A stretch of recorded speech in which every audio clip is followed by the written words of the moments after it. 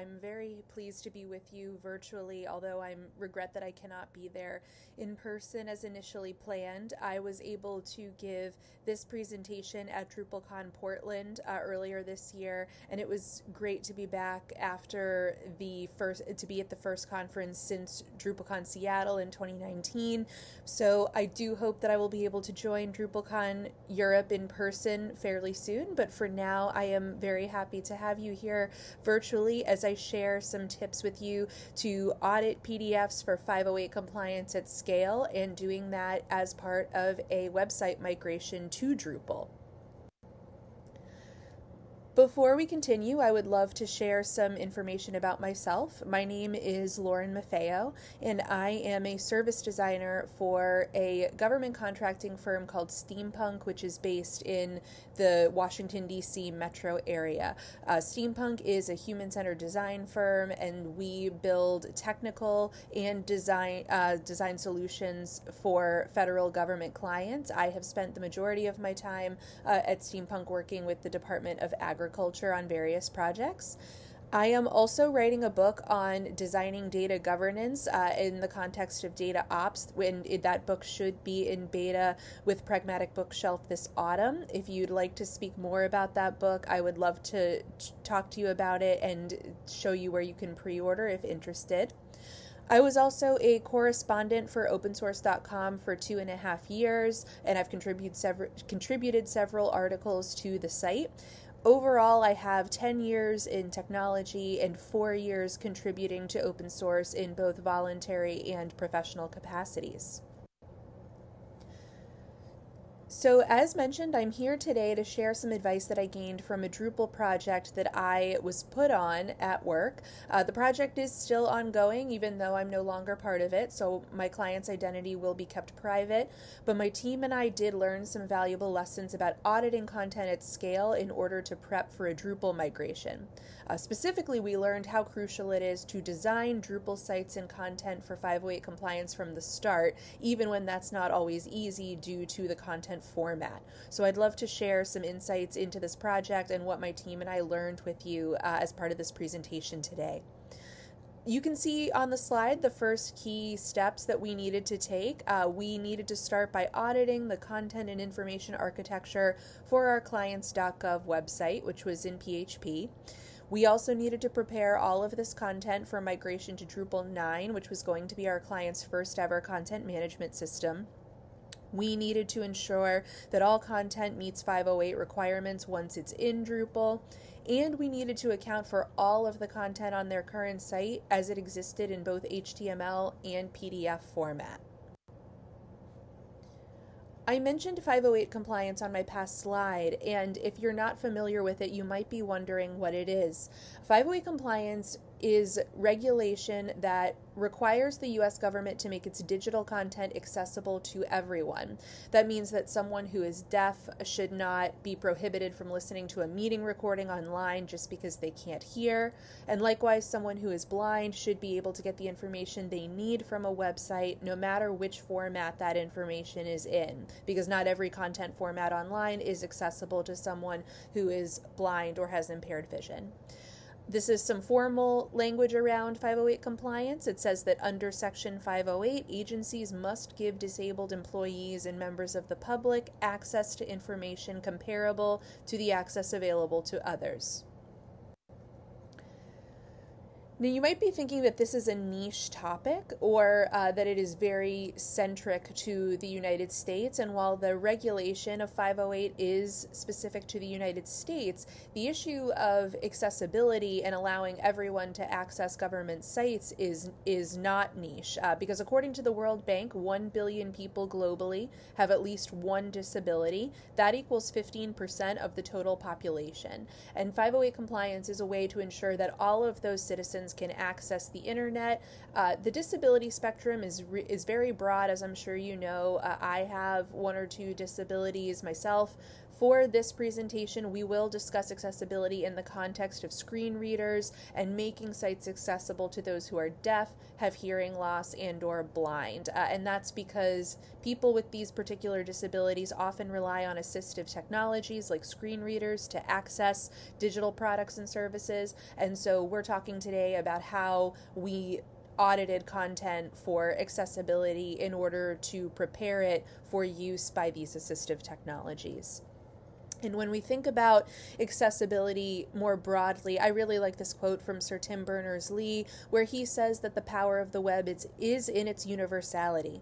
Access by everyone, regardless of, of disability, is an essential aspect. So you already know uh, what the assignment was for my team and I regarding this to be Drupal site, but once my de- design team dug into the website's content, we quickly saw what a challenge this project was going to be. Historically, our client's primary way to share information was through PDFs, and it had been that way for decades. So that's a big barrier to 508 compliance, which I'll elaborate on soon. The site also had ex- zero existing hierarchies, including no taxonomies or organized information architecture.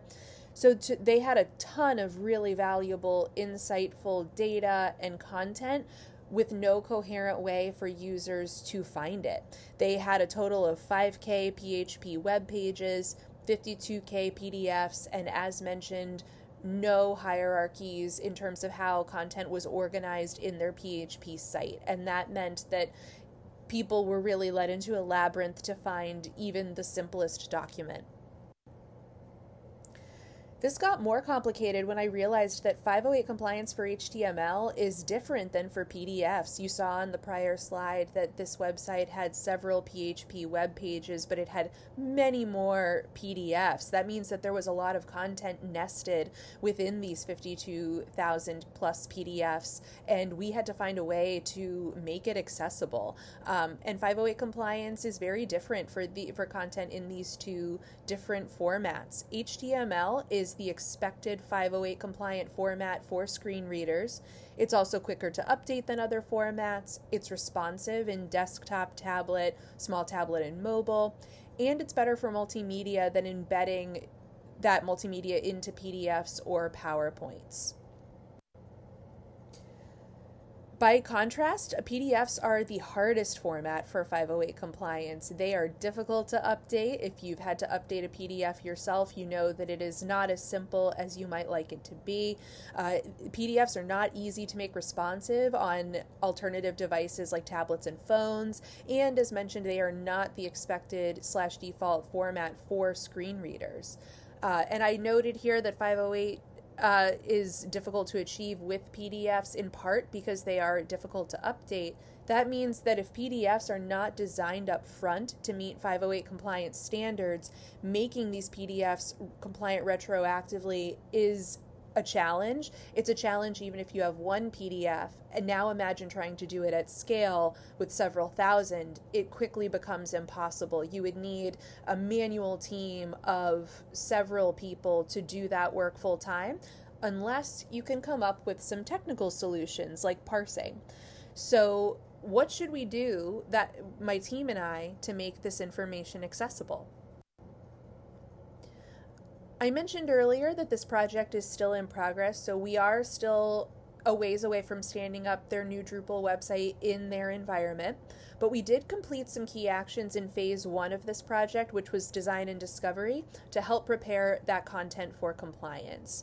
My team and I started by making an as is information architecture map in Mural. Uh, that's M U R A L. There are other design tools that you can use. Miro, M I R O, is another very popular one. My team and I use Mural very often, and the first thing we did was we went in and looked at their architect information architecture along with what we wanted to it to look like moving forward so we made both a as is information architecture map um, showing what their how their website is currently organized along with making a to be information architecture map uh, in collaboration with our stakeholders On that note, we hosted a card sorting workshop and a stakeholder mapping workshop with our clients. This allowed them to assess where they thought information on their website should logically be.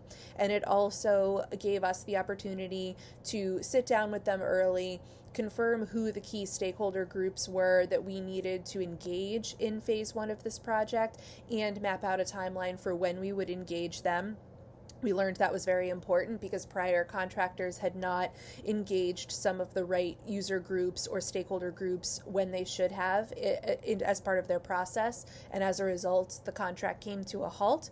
So it was very important that we talked to our clients early on to figure out who we needed to prioritize in our user interviews and usability testing.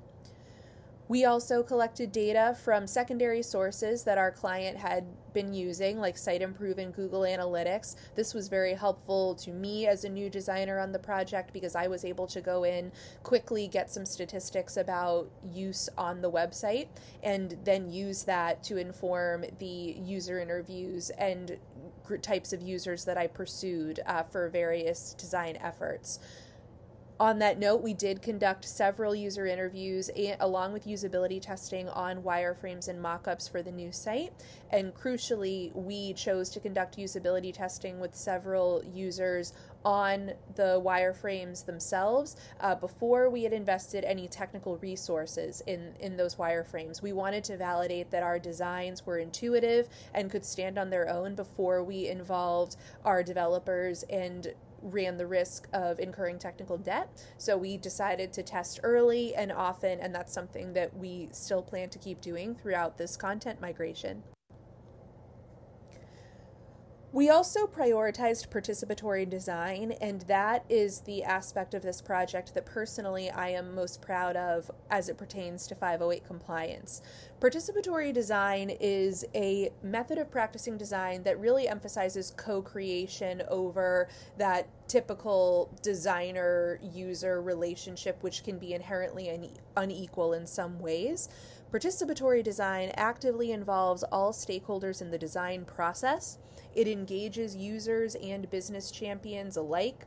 It prioritizes processes and procedures, not styles. Uh, we, we often think of design as, as being make it, quote unquote, make it pretty work. Uh, and the reality is, it's so much more than that.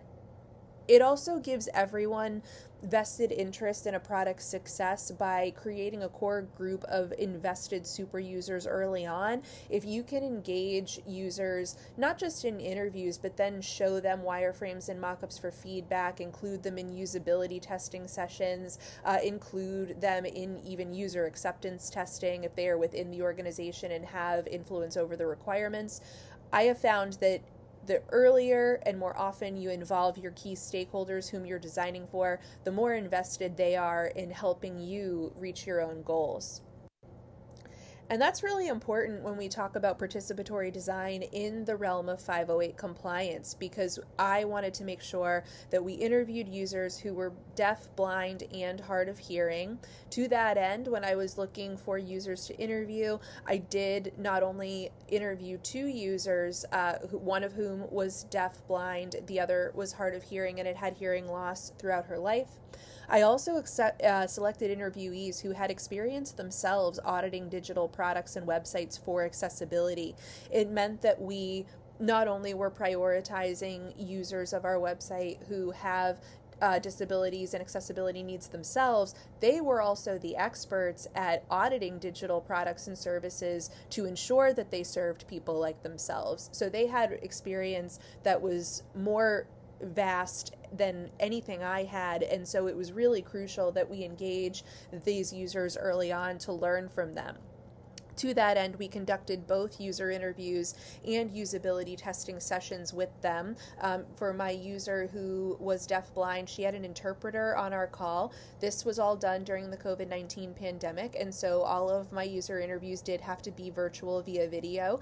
And so when one of my subjects joined the call, she had a translator on with her. And so the translator would interpret my interview questions for her, and then she would give me answers uh, using American Sign Language, which her interpreter would then uh, explain for me. the, we wanted to make sure too that we were really not just interviewing these users for their own sake. As as a service designer i really always want to tie every user interview that i conduct back to a prioritized design and or development decision. So we really wanted to ensure that the rest of our stakeholder group and team was hearing what these users had to say so that we could design a 508 compliant site for drupal moving forward. So as a result of our participatory design with folks who have accessibility needs, we presented their recommendations at sprint demos. We do work on a bi weekly cadence uh, where we track all of our work in JIRA according to two week sprints. And then at the end of each sprint, we present our work to the client to show what we did. Um, so, in cases where user interviews were conducted during sprints, I did present those results and recommendations at sprint demos.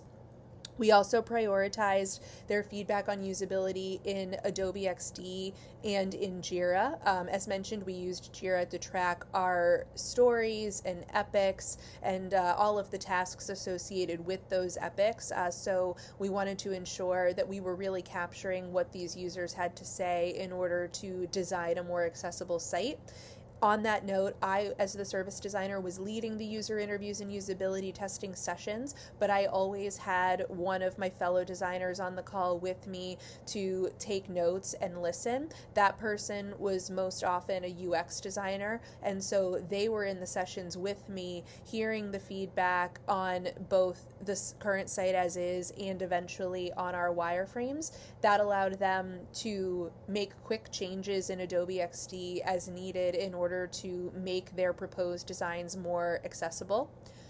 We also, as a team, have committed to 508 testing pre production. Uh, we have a, a 508 liaison at our client site, and we also have a quality assurance team of several people whose job it is to audit everything that we push to Drupal for 508 before it gets released to the public and long term, as part of my clients' uh, digital transformation, they're committed to changing the content delivery experience. As mentioned, they have shared their information in PDF format for decades. There are several reasons why they chose that format to begin with, but the reality is that in today's modern digital era, for many reasons, including 508 compliance, that is no longer tenable. So they are seriously invested in figuring out how they can adapt their the content in their PDFs to be more of a self-service business intelligence model where people can ideally go to the website and enter the data points that they need and get that information back. That's all well and good for the future. They do have an idea in mind for how to make their content accessible in Drupal moving forward, but you might recall that at the beginning of this presentation, we still had a lot of information nested within 52k PDFs. And you might be wondering, how did we solve that problem? How did we go in and parse all of the content within those PDFs to ensure that it is compliant on the new Drupal site and that if it is not shown in the standard PDF format, that we make it compliant in some other way.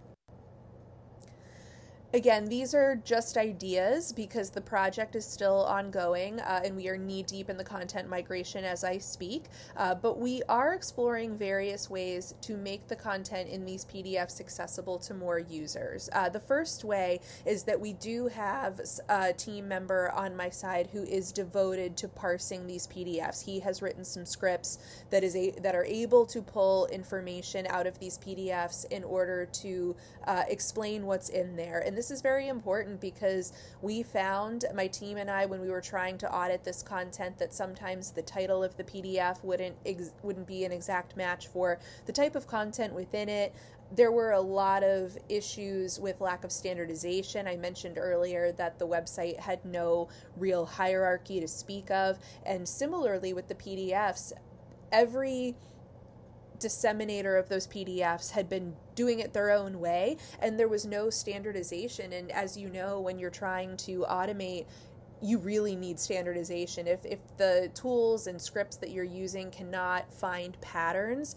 it's going to be very difficult to automate. And so we have somebody who is committed to, to PDF parsing on at least a part time basis. But the reality is, this challenge goes beyond the migration as mentioned, we need to figure out how to make the content in those PDFs accessible once we move over to Drupal. And we came up with a few key ways to do that in partnership with the users whom we spoke to. Uh, there are some suggestions that include making a PDF repository. Part of the challenge on our client's current site is that if you go to any page on the site, you might be taken to an, a PDF off of the web page, and there's no icon or any notification that you are not only going to go off of the web page, but that you are going into a new file format. If you make a PDF repository, at least the user knows that this is where they find content of a certain type, and then they can access it that way. One suggestion that I found very valuable from user interviews with folks who have accessibility needs is to provide addi- additional Word and text versions per PDF on the site and to make icons denoting that they are Word and text files. Uh, it is much easier for screen readers and assistive technology to read content in these file formats, and so providing additional versions alongside a PDF is a way to advance accessibility. As mentioned, we do want to add icons which denote any non HTML content, especially PDFs, so that users know when they are not going to be engaging in a standard web page or if they are going to need uh, any additional help accessing a different type of content. And we also do want to give users contact details for someone at the organization who can provide them accessible content upon request. This should be a last resort. We really want to make the website more self service so that people can navigate it more easily and they can find the information they need without additional help. Having said that, if all of these options fail for some reason, we do want to share the information uh, for somebody at our client site who could give them an accessible version of the information in a PDF requested. So, as we come to the end and think about lessons learned from this project on my end, I learned a lot about the importance of designing for 508 compliance at the beginning uh, because the amount, I think we've all walked into projects that had an enormous amount of technical debt, and that technical debt extends to content as well. So when I think about advice for optimizing your content in Drupal for 508 compliance, I learned a few key lessons. The first is to design for 508 from the start on that note, always consider the best format for new content. So it can be very easy to get into a habit of creating a type of content in one particular format without investigating whether that format is the best medium. You also want to prioritize responsive design with easy editing access. This allows you to make changes on the fly and keep iterating you want to practice participatory design, you should always be thinking about people who might have challenges accessing your website and not making assumptions about what they need. That is really crucial, and I think that's the biggest benefit to participatory design. It involves not only co-creating new solutions with users but giving them the autonomy to explain what's best and what they need i think designing with assumptions is really dangerous and that's why i never create design assets like personas and journey maps or service blueprints without extensive user interviews. Uh, you cannot make assumptions, or else that is how you will incur technical debt in production environments. You also do want to test for 508 compliance pre production. Ideally, you should have somebody who can serve in a quality assurance role um, on your team so that they can test all of your designs, your fonts, every, uh, your file formats, everything before you publish that content on your website. And you do want to perform regular audits to ensure compliance. Uh, so, even once your Drupal website is live and on the web, you want to make sure that you're using a site crawler like Siteimprove to make sure that your content is accessible, that it does meet 508 compliance guidelines, and that even somebody who has vision or hearing challenges uh, is able to access it. And the biggest, perhaps the biggest takeaway I learned from this client engagement is that retroactively making PDFs 508 compliant is hard. Doing it at scale is almost impossible. It really requires a lot of strategic thinking and it requires patterns as mentioned. The the big challenge that we've ha- faced is that there is no real rhyme or reason to the information architecture on the PHP site and that the PDFs don't really have any sequential logic or order to them either. That made it really challenging uh, for automating the the the practice of parsing these PDFs and the content within them. Uh, and we're making it work, but it has taken a lot of creative thinking to make that happen. Whereas if you, again, design PDFs to be compliant from the start, you can save yourself truly endless hours of work down the down the line uh, because eventually new standards will come into place they will catch up with you and if you are not prepared that can be a lot of time and money invested in something that you could have just done to begin with now, as mentioned, you will sometimes PDFs are the best format for your content, and there are ways to make them accessible from the start. The tips that I'm going to share with you on these final slides come from Indiana University, and they discuss some key ways to make PDFs accessible to screen readers using Adobe Acrobat Pro. Uh, so the first is if you want to convert text that is an image to selectable text, you would go to Tools, Text Recognition, and then select in this file. You can also add tags to indicate heading structure. To do that, you would go to Tools, Accessibility, and add tags to document. You can and should add alt text to images. This is very important because for somebody who has vision impairments, if they cannot see an image on a website, an alt text will explain to them what is in the image. Uh, I've been adding alt text images to the Drupal site in our production environment. To do that for a PDF, you would go to Tools, Protect and Standardize, Accessibility Tool, Add, Set Alternative Text. You can also set the reading order. Reading order tells screen readers which order they should read content in uh, so that users can make sense of what they're reading. To do to set the reading order, you can go to Tools, Accessibility, Touch Up Reading Order. And finally, if you want to set the language, uh, you can go to File, Properties, Advanced, and Reading Options. And these principles are not inclusive of everything that you might need to do to make PDFs accessible, uh, but I do hope that it helps you get a stronger sense of thinking about which content types are most accessible in Drupal, designing new content for Drupal with accessibility and 508 in mind and making sure uh, that if you do use PDFs on Drupal that you practice accessibility to begin with. It should never be an afterthought. It should be baked into everything you do. And if you practice participatory design from the outset, you can build an exceptional Drupal site that includes all users. So thank you very much for being here. Um, as mentioned, I, this is a recording, but I am online uh, right now to answer Q and A. Um, so feel free to ask any questions. And thank you again for being here.